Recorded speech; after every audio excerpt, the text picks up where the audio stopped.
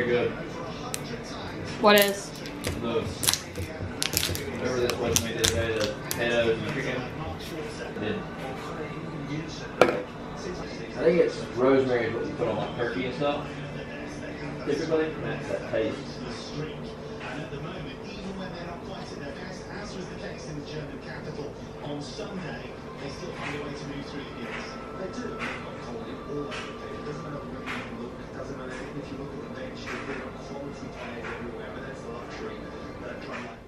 Oh, that? Hey friends. Okay, so let me lower you guys down actually. Just a smidge, because this isn't like a tutorial, so it doesn't have to be super exact. Much better. So I am getting ready. I figured while I get ready, I would share um, some updates on my current like health routine, weight loss journey. I've had so many questions about it that I felt like it was just time to, to sit down and talk about it um, with you guys. So there are, I have my notes here. Three main things that I wanted to discuss. Okay, camera, you're gonna have to stay in focus. Um, when it comes to my weight loss journey. So I'll talk a little bit about it first. So I have been at a very consistent weight for the last like three years maybe and that's why I count calories like I always count calories and pretty regularly like was working out you know once twice sometimes three times a week um just to kind of make sure that I maintained my weight. And that was because I knew I was at a healthy weight. Like my doctors were all like, great, cool, fine. That's a perfect weight for your height, for your build. Um, perfect. So my weight necessarily wasn't what got me, but it was, I, I just have maintained the same like five to 10 pounds, like within the certain range for the last like three, four years.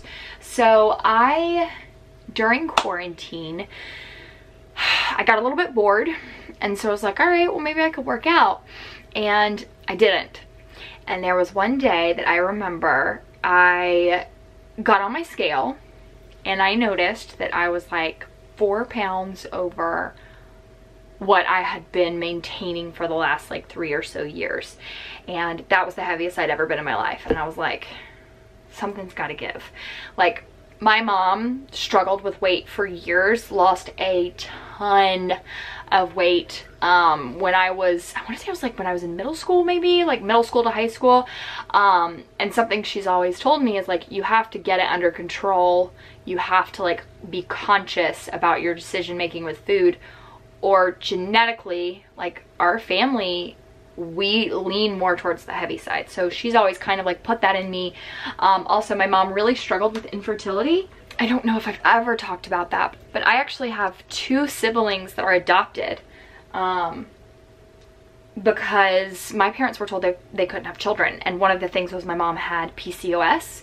And so she like tried and tried and tried for years and years, couldn't get pregnant. They adopted my oldest brother, my oldest sister, um, I do get the question a lot, like, are they from the same set of parents? No, and they adopted them. So my, my brother is 27, my sister will be 20, or is she is 26. She turned 26 this month, I'm 25, and then my younger brother, who is like biologically related to me, is 23. God, we're also getting so old. Um, but one of the things my mom said was she was like, I, you know, had PCOS. I couldn't get pregnant. I struggled for years. I had my two kids. I was good. I was done. I, I wasn't trying for children anymore. So I got in shape, lost all this weight. And then, of course, I got pregnant. She got pregnant twice naturally with me and then my younger brother. So she's always said, like, I don't have PCOS, but she's like, you just need to be careful and be conscious because, like, literally, I had infertility and the, the thing that worked was losing weight. So um, she's always just kind of told me, so that's kind of the backstory of why I got very self-conscious. So I decided actually in February, so that was before quarantine, that I was going to start full-time intermittent fasting. That was another thing I was really doing to just maintain my weight. God, I need Botox. My Botox appointment is in two weeks and I cannot wait. Started getting the headaches again and I've started noticing the like lines showing back up. Oh, it's frustrating. I'm sorry the camera keeps going in and out of focus, you guys. Um, I'm trying to like keep my face focused towards you so it doesn't do that. Um, but so I decided to institute intermittent fasting and I remember I started it the weekend that my friends moved into their house. So I can't remember what date, but I know it was like, I want to say it was the first week of February. Um, and I do the 16-8 fasting. So basically that's like 16 hours of the day. You are fasting and you're only eating for eight hours. Now, that seemed very intimidating at first, and it will seem very intimidating at first. It was one of the easiest things ever like to ever incorporate into my diet because basically you just have to be like conscious about what time you start eating like that's really it if you want to get serious about losing weight i'll get into more about the counting calories but just in general like if you just go from like eating whenever you want to just intermittent fasting eating between a certain eight hour window you'll notice a difference in your weight and um, like your energy. So you can pick whatever eight hour window works for you.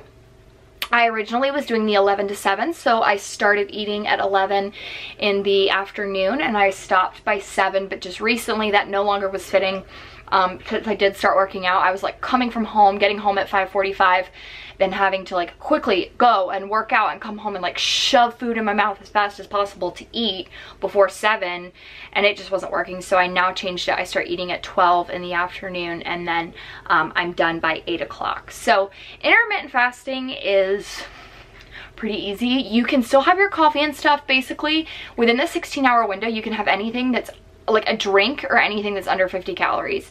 Um, I drink my coffee in the morning with like a little bit of creamer because the creamer is only 40 calories and I just drink that and then I drink water. You will be so surprised how quick 12 o'clock comes or even like 11 o'clock comes when you're just focused on like drinking your coffee and drinking your water.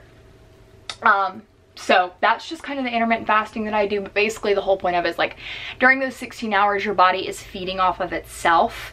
And like you're not just eating whenever you want. It's also easier to count calories during intermittent fasting because um, at one point I remember I was allotted like 1600 calories a day and if you wake up and you immediately start eating you have a whole long day ahead of you with only so many calories left and if you only have an eight hour window to eat those 1600 calories it feels more like a treat I guess but I think a lot of intermittent fasting has a lot to do with your mindset um, and that was a big reason I was able to like finally get my fitness on track is because I changed my mindset. So, intermittent fasting, I'm trying to read my notes here. So I've talked about the uh, MyFitnessPal app for a while. I have used it. I want to say my dad was the one I think who introduced it to me March before my wedding. Um, I wasn't like super, I didn't care that much about working out before my wedding. I actually was working out a lot, but like the month of my wedding, I had absolutely no time to work out. So I was like, all right, well, I just can't work out. I'm just gonna eat right. So I ended up using the MyFitnessPal app. And what I love about it is it customizes completely based on what your goal weight is, how much weight you wanna lose each week, how active you are, and then also, so say you get 1500 calories a day. If you work out, you track your calories, you burn 300 calories during that workout, you put the workout in, it's going to add that to the calories that you can eat. So if you haven't eaten anything, you have 1500 calories for the whole day, you work out, burn 300 calories, you put that in, you then have 1800 calories to eat for the whole day. So that really helps a lot because then it's kind of like, if I want to eat that cookie, which I do still eat, like I still treat myself, we're going to the melting pot tonight for our anniversary and I'm going to eat chocolate, like I don't care.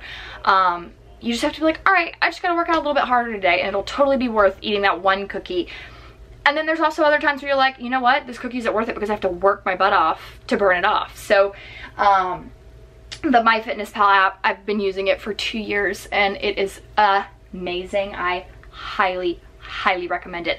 Even if you're not on a fitness journey, if you're just trying to maintain weight, if you're trying to gain weight, it is amazing. It's easy, it's free. I love it. Okay, so Oh, and just to tell you guys, so I am allotted right now 1400, 1410 calories a day. Yeah. Um, and then when I work out, that gets added to that 1400 calories. So like I worked out this morning, I burned 250. So I get like, what is that? Like 1660 now or something like that um, to eat for the entire day. that is how I count calories. Before I talk about my workout, I weight isn't everything and that is something that I did not know until I got on my fitness journey and I've always heard people say it your weight is irrelevant it's your measurements that matter. Um, and I was doing my weight and I was weighing myself every morning and I couldn't figure it out. So I actually will put a picture up on the screen of the scale that I use. It is a BMI scale. It helps so much. My mom actually had a physical done like a week or so before I got the BMI scale. And when she stepped on it, it like point for point was like almost identical to the blood work and what they said at like her physical. Um, so it is accurate. It's actually fairly affordable to be a BMI scale. And so I'll link it below for you guys. I highly recommend getting that again because like it's not so much about the weight that matters. It's about like your body fat that matters. And like that tells you your water weight and your like how much muscle mass you have. So that is amazing because it's not just like, it's not about weight. Like I weigh, like I, my weight is actually pretty stagnant right now, but my clothes are fitting me better and I actually haven't measured myself. I need to do my measurements again. Um, but I know I have lost inches off of my waist. And so it's not necessarily about the weight, but I highly recommend getting that scale if you're gonna, if you're gonna try and get in shape. So, um, my Open Fit is the app that I use for my workouts. So that is created by Andrea Rogers. There are so many programs that you can do. Like what we actually do, you can do it online, um, like on your computer. You can like cast it on your computer. What I do is I go down, open up the app, and then I put it on Chromecast, and me and my mom use it to work out. So let's see, they've got, so you can see all of their programs. They've got Xtend Barre, Five Day Fit Week Challenge, um, Rough Around the Edges, which is like a dancing kind of like Zumba on steroids. Tough Mudder, which is very similar to CrossFit minus like the tires and stuff like that. It's like CrossFit that you can do yourself. He is tough. Um, 600 seconds, which is literally like 10 minute workouts. So awesome. And they are hardcore. They have yoga and then Pilates. So tons of programs you're going to get um, from just that one app. So it is amazing. And I don't know if there are. If there are, I have not seen them, but I believe that every workout on there is under 30 minutes. So that is literally all I do. Me and my mom work out five days a week for 30 minutes a day. We like to change it up. We'll go between the weightlifting and the 600 seconds. Like we'll do three of the 10 minute different workouts, just like based on what area we want to target. Um, sometimes we'll do Pilates, sometimes we'll do barre. It's just basically like customized to us. It is so easy. We enjoy it so much. And I feel like although there are some you like need equipment for there are a lot of workouts that you don't need equipment for and like they tell you you can just use this if you don't have this piece of equipment but like I feel like that is it's one of the best workouts that I've ever done from home. Um, I did Obé Fitness for a while and I say a while it was like a month and I I liked Obé Fitness. The problem with it was I feel like it was for people who are out of shape. And while like there's a 21 day program that Andrea Rogers does in my open fit that like gets you like you go you just do one class a day um, for 21 days straight and you just it kind of gets you to a very fit place to then start kind of doing your own workouts I feel like those are so much better because Obé Fitness like no judgment, but I just wasn't tired. Like after the first week of doing their programs, I just didn't feel like I was really getting a lot out of them. And like Andrea's programs, I still am like dead on the floor, like feel like I worked out so hard and I mean, it, it seems so simple. So Obé is is good if you're completely out of shape. But if you're looking for a long term, like I'm gonna get in shape and stay in shape, I wouldn't recommend it because you're just gonna have to change the program. So I think that's everything. If I didn't cover something, please just leave a comment below um, so that others can see it and I will make sure I get back to you. I do, me and my mom um, do the one year program. Like you can, there's different packages in OpenFit. I paid for just like the one year full. It's only like a hundred bucks for the entire year. Um, because I knew I would be like I love this program and so I just decided to do the one year membership and it works great like super easy but you can do the monthly you know you can i think there's a trial period um so it's really good. Now i wanted to talk about what i eat in a day because this was actually what i got questions about a lot too um and uh, like i said like i'm going to the melting pot today. I'm not gonna make a big deal out of it. Like i feel like like when i know somebody who's on keto when i know somebody who is doing um like crazy just South Beach diets, they want to tell you, they just want to talk about it. They want to go out to eat and be like, oh, I'm doing keto, so I can't have that and I can't have that. And I think when it's just counting calories, there's no drama involved. Like, it's not a big deal. If you go over your calories, that's fine. Just don't do it every day. Or if you do, like, make sure you're working out. Um, there's just no drama that goes in with, like, me losing weight and what I eat.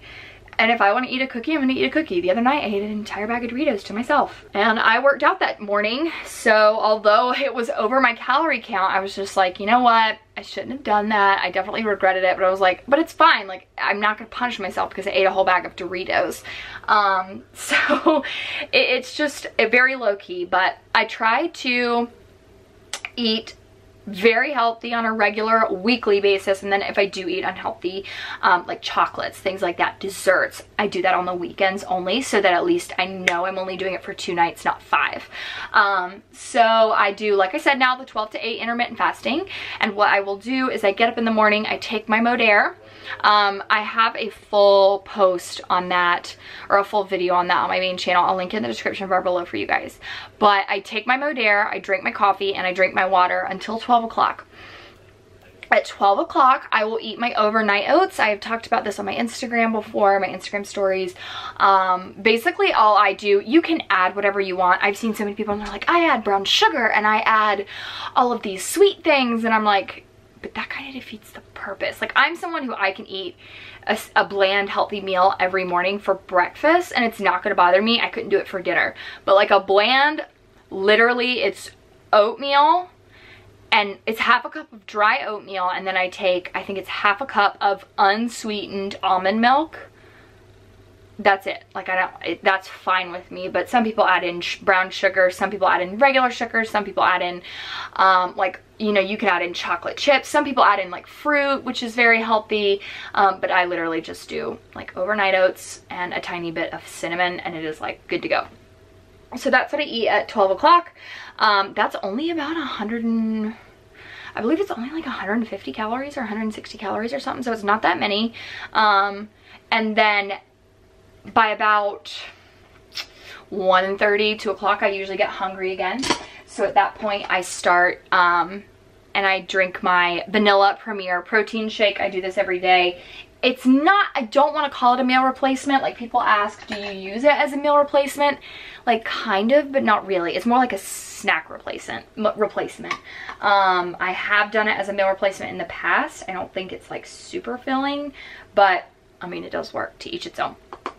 So at that point, you know, 160 calories, Premier Protein. By that point in the afternoon, it's probably like 2.30, 3 o'clock. Um, if I get hungry, I will eat granola bars that are under 100 calories.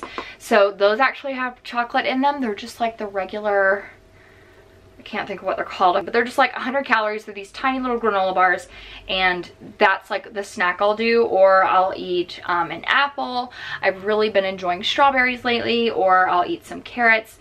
Um, one thing that I have found that has helped a lot about quarantine is the restaurants were closed, or, okay, restaurants were closed indoors, you could still do drive-through and the drive-throughs were crazy. So I, once I went back to the office, I was like, screw that. And I just started packing my lunch, which helped a lot because I was able to A, save a lot of money. B, I wasn't making a conscious decision about my food based on how hungry I was. And C, it made me plan what I was gonna eat so my calories were lower.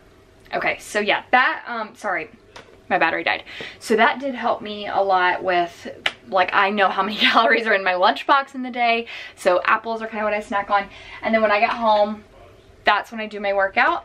And then um, from there, anything that's left over, I'll eat for dinner. So usually I'm loving grilled chicken lately um, or even like steak we'll do asparagus. Asparagus is not that many calories. Green beans are not that many calories.